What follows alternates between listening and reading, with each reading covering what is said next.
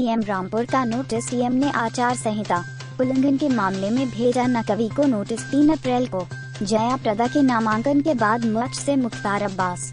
नकवी ने भारतीय सेना को मोदी की सेना कहा था इस मामले पर भारतीय जनता पार्टी के केंद्रीय मंत्री और रामपुर के पूर्व सांसद मुख्तार अब्बास नकवी पर कार्यवाही की है।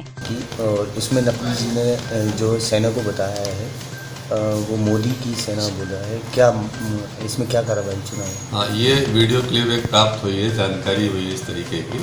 इस संबंध में जो है, उनको आदर्श आचार संहिता के उल्लंघन के परिप्रेक्ष्य में जिला निर्वाचन अधिकारी महोदय की ओर से नोटिस उनको जारी किया जा रहा वो अपनी स्थिति स्पष्ट करने के लिए।